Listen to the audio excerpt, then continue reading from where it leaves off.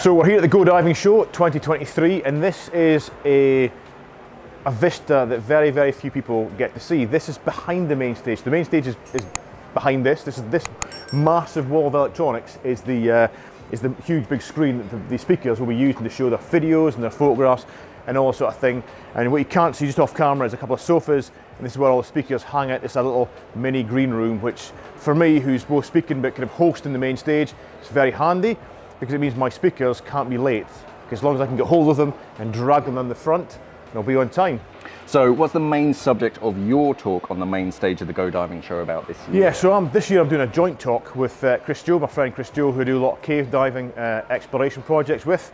So we're doing a little bit of a, uh, the last sort of year of, of, of, of, cave diving in the UK, in Spain, in France. Uh, and it's a kind of insight into how we set these up and the variation of cave diving you can do from very, very simple, you know, scuba on air, cave diving, up to trimix rebreathers where you're doing overnights in dry chambers, you're camping in dry chambers that can only be accessed by underwater passages. Um, and uh, Chris's will be very impressive and mine will be very funny, hopefully.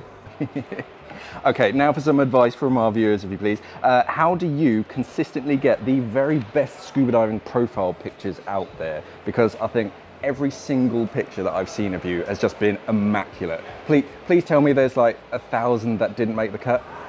no, so how I get good photos for magazines or for talks or for social media, uh, the key thing is in the main, dive with people who are really good photographers. So Rich Stevenson, really good friend of mine, professional underwater cameraman and photographer, works for like big movies, big documentaries.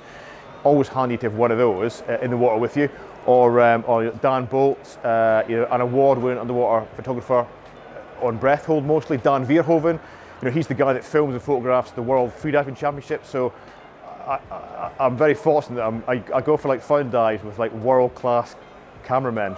Uh, and sometimes I've been known to do it myself, and that's literally nothing more than a GoPro 9, often caves. I mean, the two things there is lighting's really important. So I've got three big blue um, caving torches that are all wide beam. They're basically video lights rather than dive torches, but I dive with them.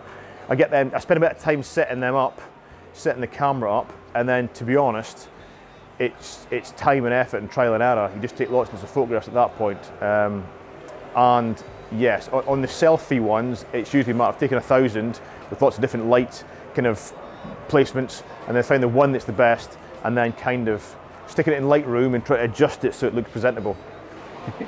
Uh, and how is Archer doing in his underwater adventure? Is he about old? How is your boy Archer uh, doing in his underwater adventures? Is he about old enough to start learning oh, to yeah. dive yet? So I've got I've got two kids now. Uh, one's eight and one's six, and uh, both boys, and they genuinely love the water. That's not that's something I forced them into, but it makes holidays easier. We take them somewhere like camping.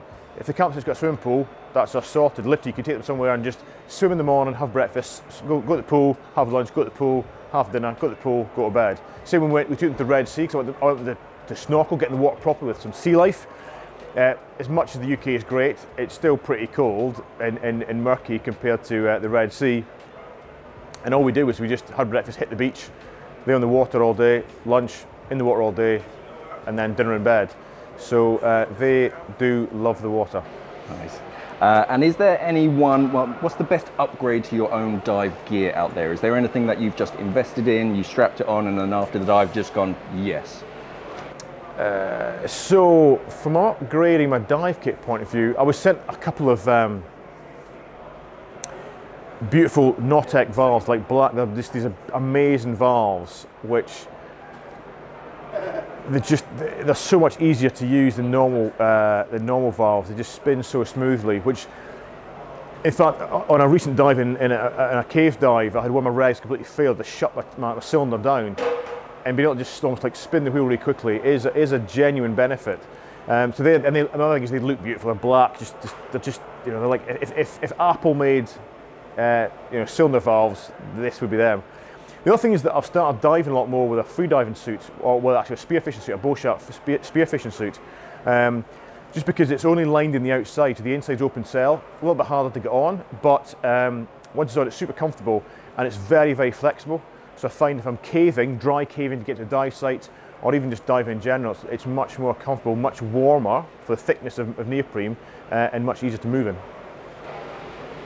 Okay, with the Aqualung being created in 1943, that's 80 years ago now, if you could go back in time 80 years and experience diving back then, or go forwards 80 years and go diving in the future with future technology, which would you prefer?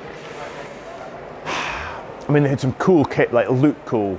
The old wetsuits with the, with this, you know, the uh, tape, oh, that vintage look is, is very cool. It's a difficult one because I mean, certainly if I can go back in time with the knowledge I've got now, I'd be like, I'd be a diving superstar because I'd suddenly be like, right, let's let's let's let's try helium in this air and invent trimix. You know, I'd take the, the rebreathers that are all year round. So rebreathers came out before scuba gear does, did, and I'd start using them. So I'm sure I could I could make myself a bit of a legend back in the day if I could take back the knowledge. And as far as going going forward, I mean, you know, increases in technology in the diving has been pretty slow, I think, for decades, just because there wasn't that drive from military or commercial point of view. So things like rebreathers and trimix were pretty slow, actually, the progression. But it's speeding up now with, with things becoming a bit, more efficient because now for exploration, certainly in, in cave terms, in depth terms, we are we, we need the technology to push it. So now really to go further, you're needing two rebreathers. And recently we've seen a lot more uh, better made side mount rebreathers coming on the market. So you can dive with two rebreathers. One is a bailout, which you need, otherwise you just can't take 15 open circuit bottles into a cave, you know, as your as your bailout if you're going kilometres in there. Um, we're seeing scooters increase in, in range.